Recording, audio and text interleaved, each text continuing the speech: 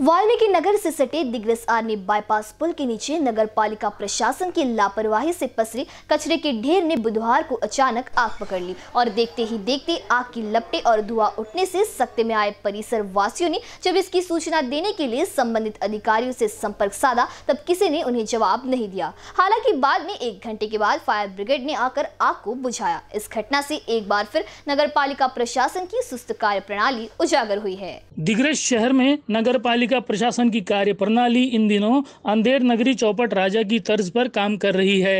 ऐसा हम इसलिए कह रहे हैं क्योंकि शहर में बुनियादी सुविधाओं के रखरखाव की ओर किसी का ध्यान नहीं है। इस लापरवाही का नतीजा हाल ही में सामने आई एक घटना से लगाया जा सकता है।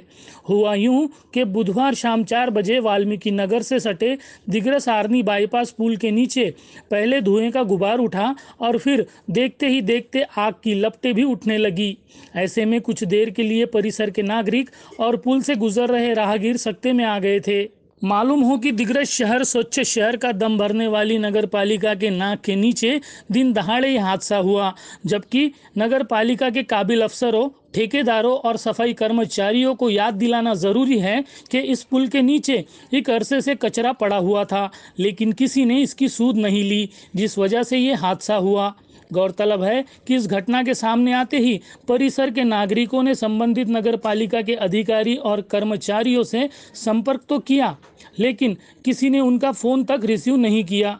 इस दौरान युवा स्वाभिमानी पार्टी के मंगल चक्रे को भी लोगों ने इस बाबत जानकारी दी। तब उन्होंने नगर पालिका के मुख्याधिकारी से संपर्क किया, लेकिन उन्हें भी निराशा हाथ ही लगी। ऐसे में मंगल चक्रे ने पुलिस थाने में पहुंचकर इसकी जानकारी साझा की और बाद में पुलिस ने किसी तरह नगर पालिका मुख्याधिकारी शेषराव टाले से संपर्क स्थापित कर उन्हें इस घटना से अवगत कराया, जिसके बाद फायर ब्रिगेड की टीम ने घटनास्थल पर पहुंचकर आग को बुझाया। काल कचऱ्याला खूप मोठ्या प्रमाणात आग लागलेली होती.